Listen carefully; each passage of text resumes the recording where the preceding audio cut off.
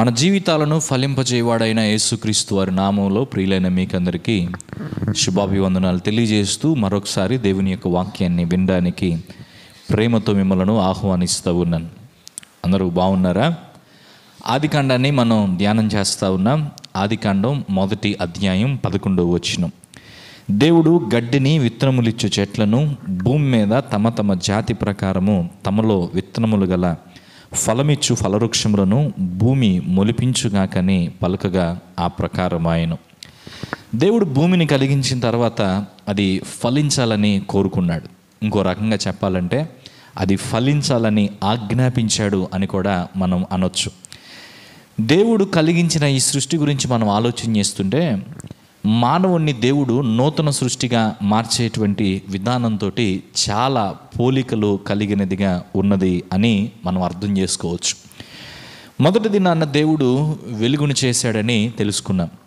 మొదటి దినాన్న దేవుడు వెలుగును చేసినట్టుగానే పాపములో చీకట్లో ఉన్నటువంటి ఒక అవిశ్వాస యొక్క హృదయంలో దేవుడు తన ఆత్మ ద్వారా వాక్యము ద్వారా కార్యాన్ని జరిగించి వెలుగును నింపి ఆ వ్యక్తిని నూతనమైన సృష్టిగా మార్చేటువంటి వాడుగా ఉన్నాడు. ఇంకో రకంగా చెప్పాలంటే నూతన సృష్టిగా మార్చబడే కార్యము అక్కడతో ప్రారంభమవుతుంది. ఈ సృష్టి ఆరంభంలో పరిశుద్ధాత్ముడు పనిచేసిన విధానాన్ని గురించి మనం విన్నాం. ఆయన జలములపై అల్లాడుతున్నాడు అని దేవుని యొక్క వాక్యంలో రాయబడింది. దాని అర్థం ఏంటి? ఒక కోడి గుడ్లు మీద పొదిగిన తర్వాత కొన్ని దినాల పాటు ఏ విధంగా పిల్లలను బయటికి తీసుకొస్తుందో పరిశుద్ధాత్మ దేవుడు కూడా జలముల మీద పొదిగిన విధానాన్ని ఇది మనకు గుర్తు చేస్తుంది అంటే పరిశుద్ధాత్మ దేవుని కార్యము ద్వారా ఈ సృష్టి ఉనికిలోనికి వచ్చింది వెలుగులోనికి వచ్చింది. అదే రీతిగా ఒక అవిశ్వాసి యొక్క జీవితంలో పరిశుద్ధాత్మదేవుని కార్యము జరిగించబడకుండా ఆ వ్యక్తి వెలుగులోనికి రావడం సత్యాన్ని తెలుసుకోవడం అసాధ్యం. దేవుని వాక్యము ఆ వ్యక్తి యొక్క జీవితంలో క్రియ జరిగించినట్టుగా కార్యాన్ని జరిగించేవాడు పరిశుద్ధాత్మ దేవుడే.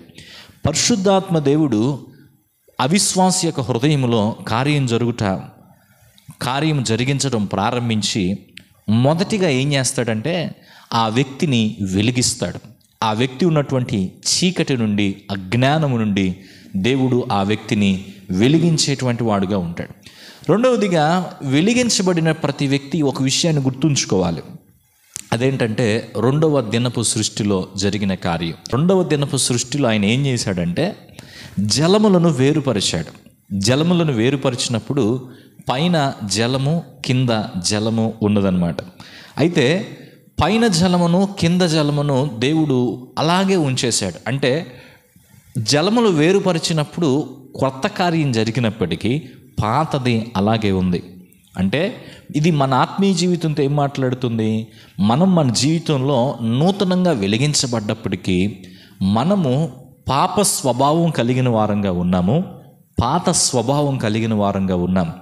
ఈ పాప స్వభావము పాత స్వభావము మనము ఈ లోకాన్ని విడిచిపెట్టే వరకు మనతోనే ఉంటుంది. ఈ పాత స్వభావంతో పాప స్వభావంతో పోరాటం అనేది తప్పదు. ఆత్మ స్వభావాన్ని దేవుడు నూతనంగా మనలో పుట్టిస్తాడు కలిగిస్తాడు. నవీన స్వభావాన్ని దేవుడు మనకిస్తాడు. కానీ శరీర స్వభావము పాప స్వభావము అలాగే ఉంటుంది అనే విషయాన్ని మనం మర్చిపోకూడదు. అంటే ఇప్పుడు ప్రతి వ్యక్తి కూడా ప్రతి విశ్వాసి కూడా వెలిగించబడిన ప్రతి విశ్వాసి ఈ విషయాన్ని అర్థం చేసుకోవాలి. పాప స్వభావాన్ని పాత స్వభావాన్ని తనింకను ఇంకనూ కలిగి ఉన్నాడని గుర్తుంచుకొని ఎల్లప్పుడూ దాన్ని ఒకవైపు కనిపెట్టుకుంటూ శరీరము తన మీద శరీర స్వభావం తన ఆత్మ స్వభావం మీద జయం పొందకుండా గెలుపు చూడకుండా శరీర స్వభావాన్ని రోజు రోజుకి చంపేసుకుంటూ ముందుకు కొనసాగే వ్యక్తిగా ఉండాలి. అలా ఉన్నప్పుడు మాత్రమే ఆత్మీయంగా ఆ వ్యక్తి సజీవుడిగా ఉండగలుగుతాడు. అలా లేకపోతే ఆత్మీయులుగా ముందుకు కొన ఆత్మీయమైనటువంటి విధానంలో ముందుకు కొనసాగటం అనేది సాధ్యం కాదు. శరీర స్వభావము ఆత్మ స్వభావం మీద పైచేయి సాధించినట్లయితే మనము శరీర సంబంధులుగానే మిగిలిపోతాం కానీ ఆత్మ సంబంధులుగా ఏమాత్రము మార్చబడలేం. అయితే మూడవ దినపు సృష్టిని మనం చూసినప్పుడు దేవుడు భూమిని ఫలించాలని కోరుకున్నాడు. ఇప్పుడు మనలను దేవుడు నూతన సృష్టిగా మార్చే విధానంతో దీన్ని పోల్చి చూస్తే వెలిగించబడినటువంటి విశ్వాసి తనలో పాప స్వభావం ఉంది అన్నటువంటి జ్ఞాపకం కలిగిన వాడై తాను దేవుని కొరకు ఫలించే వ్యక్తిగా ఉండాలి. ఇంకో రకంగా చెప్పాలంటే ఆత్మీయంగా ఫలించేటువంటి వ్యక్తిగా ఉండాలి. ఆత్మ స్వభావం విషయంలో ఫలించేటువంటి వ్యక్తిగా ఉండాలి. శరీర విషయంలో కాదు ఆత్మీయంగా ఫలించేటువంటి వారంగా మనం ఉండాలి. మనం ఫలించటం ద్వారా దేవునికి మహిమ కలుగుతుంది. మనం ఫలించటం ద్వారా దేవు యేసుక్రీస్తు వారికి శిష్యులంగా మనము ఉండగలుగుతాం. అయితే మనం ఫలించాలంటే ఏం చేయాలి? యోహాను రాసిన సువార్త పదిహేనవ అధ్యాయం ఐదవ వచనంలో ఇలా రాయబడింది. ద్రాక్షవల్లిని నేను తీగలు మీరు. ఎవడు నా ఎందు నిలిచి ఉండునో నేను ఎవని ఎందు నిలిచి ఉందునో వాడు బహుగా ఫలించును నాకు వేరుగా ఉండి మీరేమీయూ చేయలేరు. ఎంత చక్కగా ఈ మాట ఉందో చూడండి. ఒక వ్యక్తి ఫలించాలంటే ఏం చేయాలి? యేసుక్రీస్తు వారిలో నిలిచి ఉండాలి. యేసుక్రీస్తు వారిలో నిలిచి ఉంటే మా నిలిచి ఉన్నప్పుడు మాత్రమే ఒక వ్యక్తి ఫలించడము సాధ్యమవుతుంది. ఒక వ్యక్తి యేసుక్రీస్తు వారిలో నిలిచి ఉండకపోతే ఫలించడము సాధ్యం కాదు. వేసే స్పష్టంగా చెప్తున్నాడు నాకు వేరుగా ఉండి మీరేమీ చేయలేరు. ఎనిమిదవ వచ్చిన చెప్తుంది మీరు బహుగా ఫలించటం వలన నా తండ్రి మహింపరచబడును. ఇందువలన మీరు నా శిష్యులు అవుతారు సో మనం ఫలింపు దేవుడు మన జీవితాల్లో ఫలింపును కోరుతున్నాడు. ఆత్మ ఫలము మనలో కనబడాలని దేవుడు కోరుతున్నాడు. భూమి ఏ విధంగా గడ్డిని విత్తనములిచ్చే చెట్లను ఫలవృక్షాలను తీసుకురావాలని కోరుతున్నాడో ఆత్మీయంగా జన్మించినటువంటి ప్రతి విశ్వాసి వెలిగించబడిన ప్రతి విశ్వాసి పాప స్వభావం తనలో ఉందన్న జ్ఞాపకం కలిగిన వాడై పాప స్వభావంపై ఎప్పటికప్పుడే జయాన్ని చూస్తూ ఆత్మ స్వభావం కలిగిన వాడుగా జీవించాలి. ఆత్మ స్వభావం కలిగిన వాడుగా నడుచుకోవాలి. ఆత్మ స్వభావం కలిగిన వ్యక్తి వ్యక్తి అయి ఫలించాలి. ఇంకా చెప్పాలంటే ఆత్మ ఫలమును వృద్ధి చేసుకోవాలి. ఆత్మ ఫలములో ఉన్నటువంటి ఆ లక్షణాలను ఆ క్రియలను తన లోపల కలిగి ఉండేవాడుగా ఉండాలి. అలా ఉండాలంటే మనము దేవునికి విధేయులమై ఉండాలి. దేవుని వాక్యము మనలో ఉండాలి. యేసుక్రీస్తు వారి యొక్క మాటలు మనలో ఎల్లప్పుడూ ఉంచుకోవాలి. అప్పుడే పాపానికి దూరంగా ఉండగలుగుతాం. అప్పుడే శరీర స్వభావాన్ని జయించగలుగుతాం. అప్పుడే ఆత్మ సంబంధమైన రీతిలో జీవించగలిగేటువంటి వారుగా ఉంటాం. కాబట్టి మన జీవితాల్లో ఈ దినాన్న దేవుని మాటలు వింటుండగా మనం ఆలోచించేద్దాం నేను దేవుని కొరకు ఫలించే వ్యక్తిగా ఉన్నానా? నేను ఆత్మీయంగా ఫలించే వ్యక్తిగా ఉన్నానా? దేవుడు కోరుకుంటున్నటువంటి ఫలింపు నాలో ఉందా? దేవుడు ఫలింపును కోరుకుంటున్నాడు. మారు మనస్సుకు తగిన ఫలం మనలో ఉండాలని దేవుడు కోరుకుంటున్నాడు. బాప్తీస్మిచ్చి యోహాన్ గారు చెప్పిన భాషలో చెప్పాలంటే ఆయన ఉపయోగించిన టోన్లో చెప్పాలంటే మారు మనస్సుకు తగిన ఫలం మనం ఫలించాలి. లేకపోతే ఇదిగో ఇప్పుడే గొడ్డలి చెట్టు వేరున ఉంచబడి ఉన్నది. పరిశుద్ధ గ్రంథంలో ప్రభు అయిన యేసుక్రీస్తు వారు కొన్ని సందర్భాల్లో ఒక చెట్టును దర్శించినప్పుడు ఆ చెట్టు ఫలించకుండా ఉన్నప్పుడు దాన్ని నరికివేయడానికి తీసివేయడానికి ఆయన సిద్ధపడ్డాడు.